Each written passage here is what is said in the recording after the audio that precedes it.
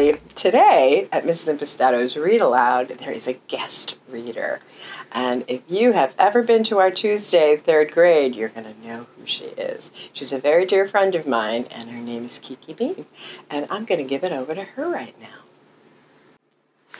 The name of the book is The Donkey That No One Could Ride, written by Anthony DeStefano and illustrated by Richard Cowdrey. Jesus went on toward Jerusalem.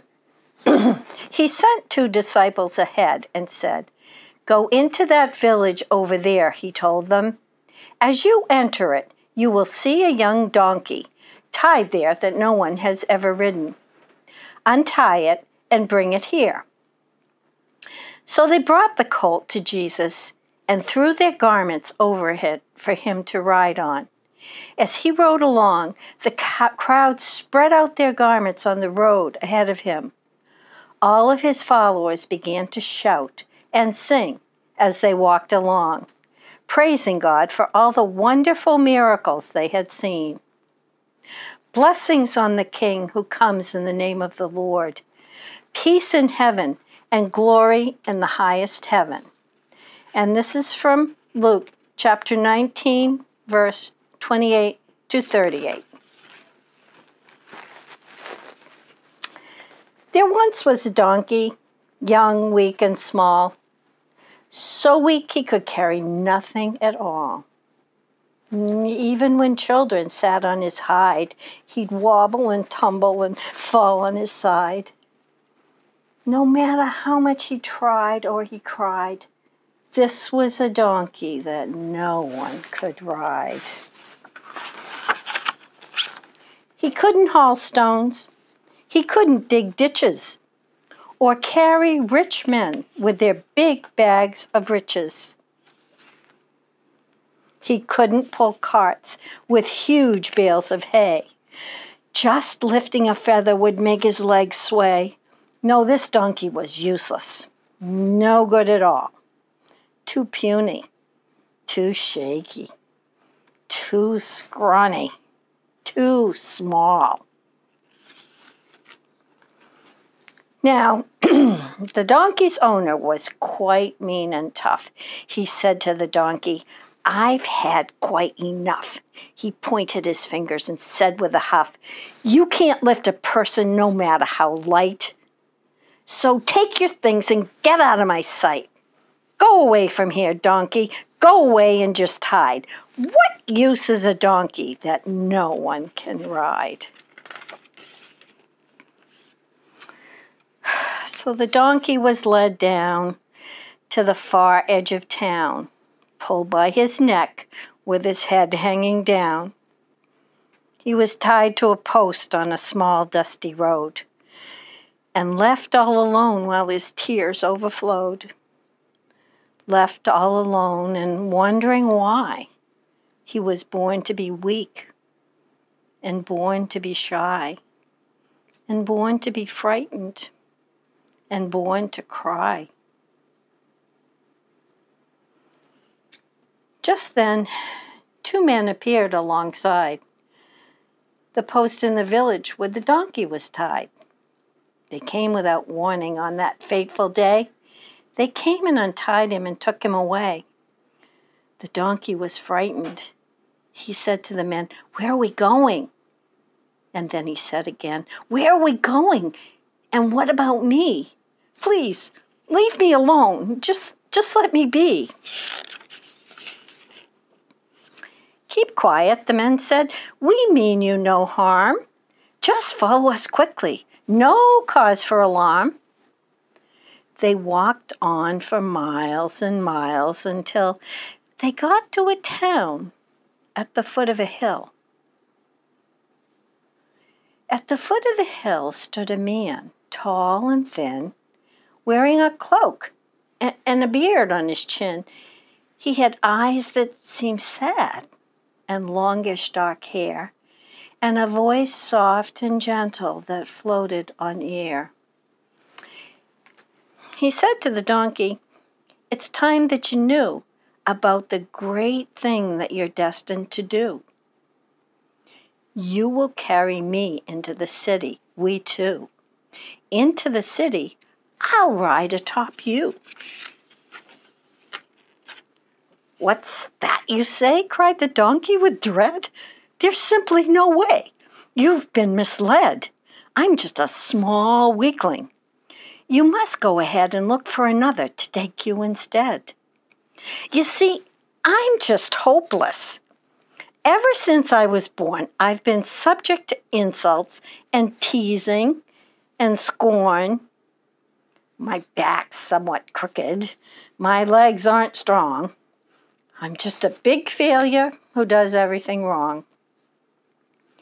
Won't you believe me? The sad donkey cried. Just leave me alone and cast me aside. I'm just a poor donkey that no one can ride.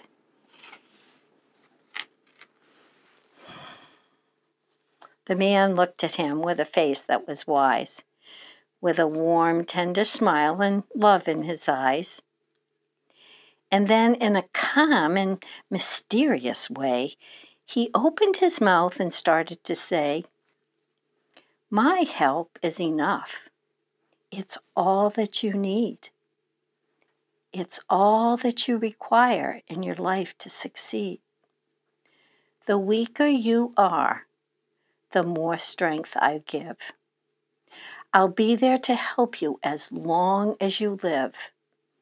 I know you feel tired and frightened and broken, but do you believe the words I've spoken? Do you believe? I'll ask you again. Do you have faith I can heal you, my friend? For some reason, the donkey was sure that he knew the words the man spoke were honest and true. They were said with such kindness and caring and love, it seemed that they came from heaven above. The donkey burst out, I believe it's true. I believe, he repeated. I believe, yes, I do. The man stretched his hand out and closed both his eyes. And then, to the little donkey's surprise, he felt a sensation he couldn't control from the top of his head right down to his soul. All of a sudden, he realized that now his body was stretching and changing somehow. Most amazing of all, at that very hour, the donkey began to sense he had power. He didn't feel strong, he didn't feel small or weak any longer. Instead, he felt stronger and stronger and stronger. He could feel in his body the energy flowing. He could see with his eyes that his muscles were growing. His back felt like iron, his legs felt like steel. His chest felt so lo- strong, it just couldn't be real. It's a miracle! A miracle, the donkey cried out. A miracle beyond any doubt. In order to show all the thanks that he felt, the donkey bowed his head down and knelt in front of the man who had made him so strong, with a beard on his chin and hair that was long.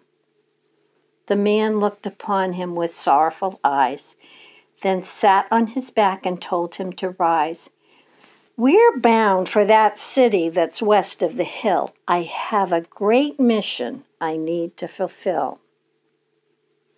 The donkey got up. His tears had all dried. With bulging muscles, he started to ride. No longer a donkey that no one could ride. Now he had courage and power and pride. He started to stride, he started to run. He couldn't believe he was having so much fun. With a clippity clop and a clippity clop, he kept right on going with no need to stop. But as they drew near the gate of the town, the donkey could hear a very strange sound. The curious noise made him perk up his ears. What could it be? It sounded like cheers. Soon crowds of people came into sight, shouting and waving their arms with delight. They were cheering the man and giving him praise, yelling hosannas and crying hoorays. It was amazing to see the love they expressed. They called him a prophet and said he was blessed.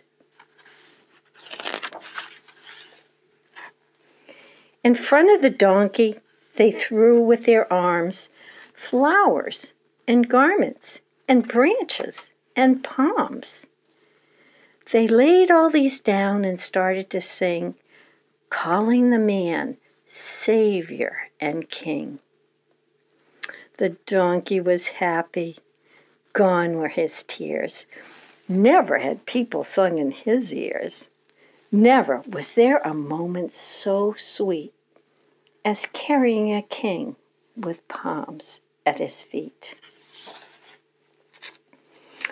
And all his life after, the donkey rejoiced that the king had made such a wonderful choice.